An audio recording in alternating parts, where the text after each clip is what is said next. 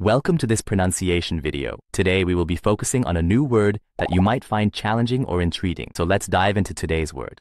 Beschwerde, which means A formal complaint or grievance regarding inconvenience or dissatisfaction. Let's say it all together. Beschwerde. Beschwerde. Beschwerde. One more time. Beschwerde. Beschwerde. Beschwerde. Thank you for joining us on this adventure in pronunciation. Remember, language is a journey, not a destination. Keep exploring, experimenting, and expanding your linguistic horizons. We'll see you next time.